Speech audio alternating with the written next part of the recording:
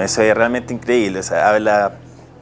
habla muy bien de la, de la cultura japonesa y del país japonés que siendo trabajadores que estén a tanta distancia, miles de kilómetros, se hayan tomado el tiempo de poder hacer esta importante donación a nuestros pescadores artesanales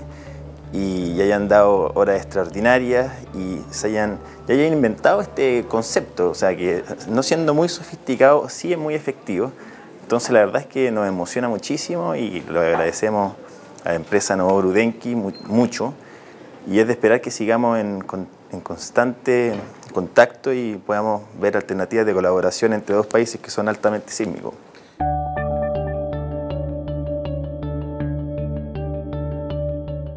Nosotros recorremos constantemente alrededor de 70 caletas a lo largo de todo Chile y, dormimos con los pescadores, nos, nos, interiorizamos de sus problemas y de la manera en que trabajan y sus faenas y, estos megáfonos de verdad que son muy importantes para el tema de seguridad. Muchas veces cuando salen con los botes en las mañanas alta mar no tienen, no tienen los GPS ni las radios, entonces dos megáfonos por los cuales pueden comunicarse cuando hay neblina o, lluvia o mal tiempo son de, altísima utilidad para los, para los pescadores.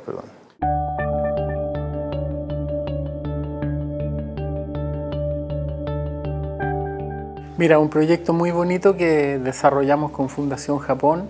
de intercambio cultural y de experiencias entre niños de la ciudad de Japón, Minami-Sanriku, esa que devastó el tsunami de ellos, y terremoto, y niños de Constitución, dos escuelas en que escribieron poesías y cuentos estos, estos jóvenes en realidad, de tercero medio aproximadamente. Y ellos escribieron historias eh, muy, muy cruzado eh, la igualdad de los sentimientos y de las cosas que les pasaban a ellos. Hicimos unos conciertos con un grupo japonés aquí en Chile, en Santiago y en Constitución, y en Japón hicimos lo mismo en Minami Sanriku y en Tokio. Y estando yo en una radio en Tokio, hablando de todo este proyecto y la realidad que han vivido estos dos países históricamente, es que alguien de la empresa Noboru escuchó eh, lo que yo estaba contando y se interesaron en, hacer una donación de estos megáfonos.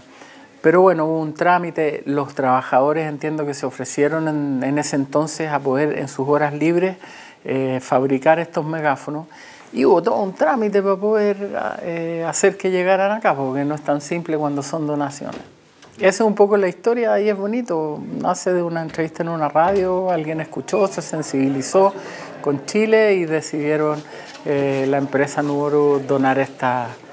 esta importante ayuda que va dirigida a las caletas de pescadores y esa fue la idea inicial que yo tuve, de decir ya, ok, la vamos a hacer llegar a las caletas que,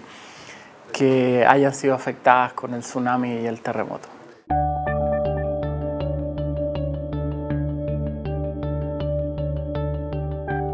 Fue increíble em, por dos razones, porque uno se da cuenta, lo que decía al principio entre los jóvenes y en uno lo mismo, que independiente del origen de los seres humanos, de, sus culturas, de su historia, eh, frente a hechos similares, los, los sentimientos son muy similares en todo sentido. Eh, y también que tuve la oportunidad de cantar en japonés junto a este grupo japonés em, y que, que, era una fusión que hicieron ellos de distintos estilos eh, y pudimos cantar entonces en japonés, me aprendí la canción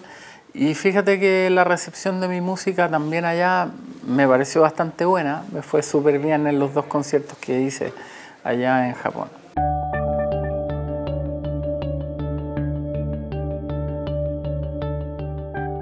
Yo creo que este, esta entrega de 100 megáfonos desde Japón de la empresa Noboru Denki a Chile es como muy simbólico eh, para estrechar aún más la relación entre Japón y Chile, especialmente estamos haciendo muchas cooperaciones colaborando con Chile para la prevención de desastres naturales, porque desafortunadamente el tema común entre Japón y Chile es terremoto y tsunami.